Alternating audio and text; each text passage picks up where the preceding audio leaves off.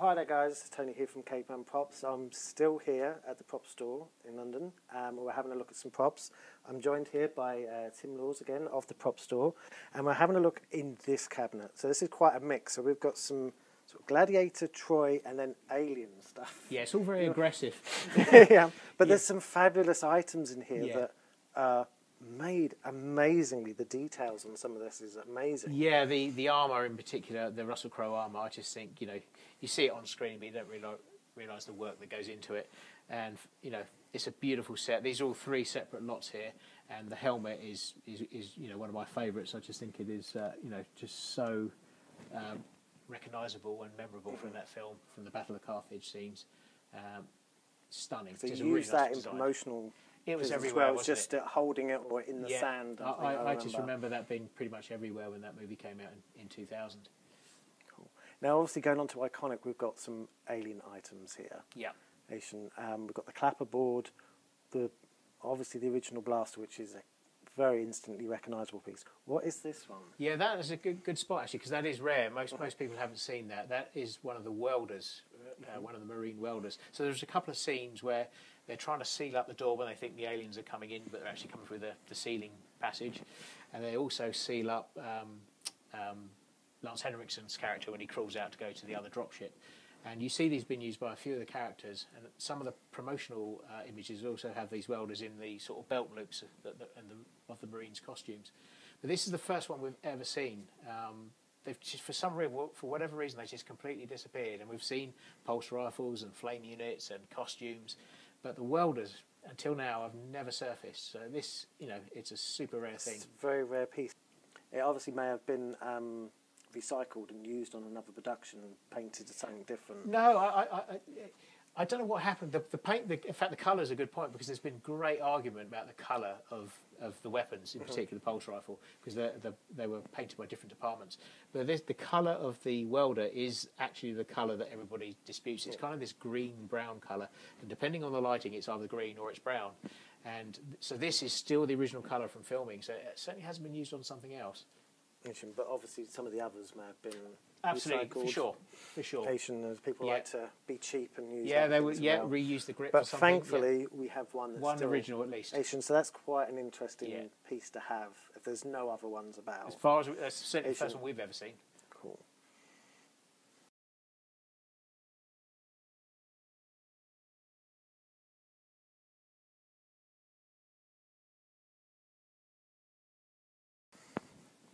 So, anyone interested in horror films, Yeah. you've got some wonderful items. Yeah. Also, very kind of iconic here. I think so- this is probably like a once in a lifetime display case because Yeah. to, to put these together again would, would, would take some doing. So you've got um, obviously a Michael Myers mask Mm-hmm. or the shape as he was in the first film. Yep. Um, Is, this isn't from the first film, though. movie. This one's from Halloween Resurrection, so it's one of the later films. But the it's all about the image. It's all about Yeah. the character, and that again is is a very recognised. Like everything in this case, it's a very recognisable thing. And as I'm sure you're aware, the original mask was based on a, a mask of William Shatner, William Shatner. which yeah, is kind of freaky. There was a choice. There was a choice between the William Shatner and a clown mask. That's that's right. That's what I heard. And, and yeah, as soon as it was on set, I think. But I, they- c- I could tell this wasn't from the original because in the original we had no eyebrows. that's correct. Yes. So he's got eyebrows now. yeah, maybe a little bit more uh, sympathetic. I don't know. I think it was the prop designer who'd found the mask, he'd shaved the eyebrows off and then opened the eyes up to Yeah. make them a little bit more hollow. Yeah, But it just it works. it totally well. works. It totally works. I mean, it endures today, so it definitely works. And the gentleman in the suit was just a friend of the director's. Yes, he I just talked him to do it. super low budget film. You know, John Carpenter used just using his ingenuity to make a, a super creepy film. No blood in the film either, which I No, think is a I didn't know that. You Yeah. get no blood in the film. Yeah. That's isn't what they wanted, and it was all um, based on your perception Yeah. of what fear is. and it worked a treat. It does work a treat. Obviously, recognisable again. Yep. Freddy Uh, Krueger? Yeah, Robert Englund costume. So we've got uh, again these are three different lots. You've got the, the the fedora, the hat. You've got the the striped sweater, and the the razor glove as well.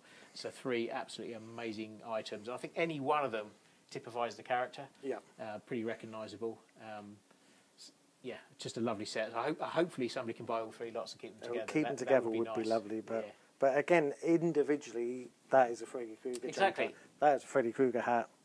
The glove obviously is totally recognisable Yeah, as well. we all so- know we all know what it is without being told. which is- iconic piece of which is the key to this, yeah. really, isn't it?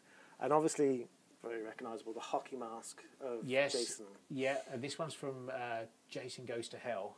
which, uh, Um, again, it's it's just something that's instantly recognisable. I love all the distressing on it. It's uh, the paintwork is amazing. It's a very detailed piece, and again, I'm sure that's going to end up in a in a really nice collection. Okay. Now, also we have a very strange one here from American Werewolf in London. Yeah, this is actually my favourite thing in the whole auction.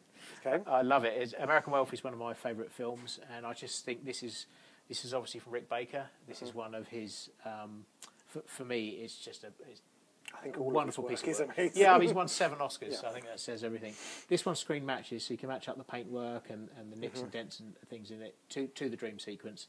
Um, and it was that one of those first times you saw the dream where you think you wake up, but then the dream carries on, the nightmare carries on. So Which I think has been done to. it's been done to death since, Yeah. but I think that was the first time I ever saw it.